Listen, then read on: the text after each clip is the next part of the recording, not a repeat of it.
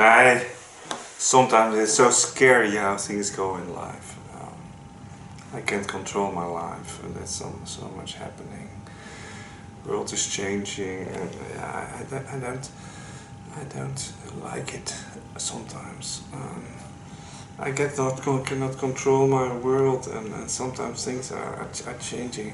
Whoa, like this. What?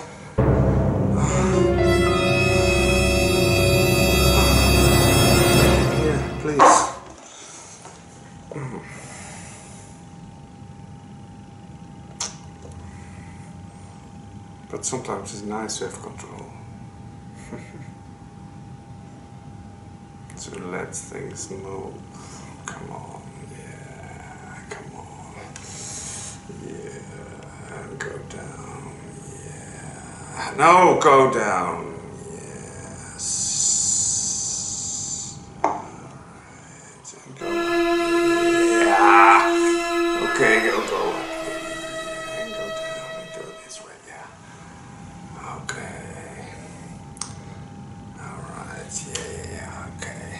So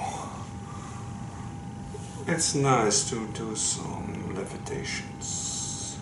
It's able I'm able to move these kind of things. I'm able to move other things, but yeah, what should I move? I can move um, iPhones.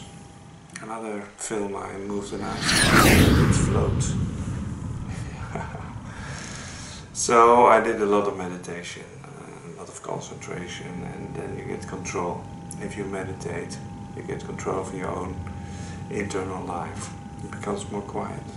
You know, you can be more focused, so you can change things. Yeah. So that's why this is so so spectacular. Yeah. So don't try this at home. You must really have good. Uh, history of uh, meditation. Yeah. Okay, enjoy your day and uh, see you later. Bye bye.